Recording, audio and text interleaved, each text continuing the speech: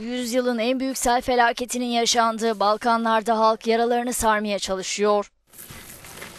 Bosna Hersek ve Sırbistan'da sel ve heyelanların yarattığı olumsuz koşullar giderilmeye devam ediyor.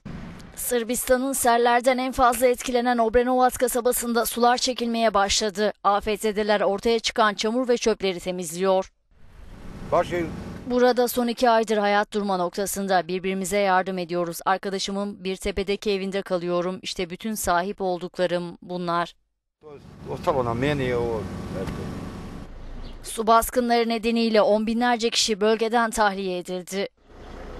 Bosna Savaşı sırasında Sırpların yakıp yıktığı köyler şimdi de sel felaketi nedeniyle tamamen boşaltıldı. Savaşta soykırımın gerçekleştiği Srebrenica kentinde de çok sayıda ev ve tarım arazisi sular altında kaldı. Ne söyleyebilirim ki kendiniz görün hasar çok büyük. Sel her şeyi alıp götürdü ve bakın işte güller mahvoldu. Makedonya'nın başkenti Üsküp'te de aşırı yağışların yol açtığı selde çok sayıda ev ve iş yerini su bastı. Bu arada Balkanlarda sel felaketinden etkilenenler için Üsküp'te yardım konseri düzenlendi.